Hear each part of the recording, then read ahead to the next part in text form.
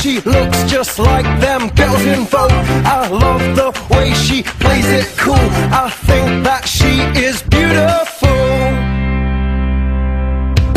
She's so lovely, she's so lovely, she's so lovely, she's so lovely, she's so lovely, she's so lovely, she's so lovely. She's pretty, a fitzy. She's got a boyfriend though, and that's a pity. She's flirty, turned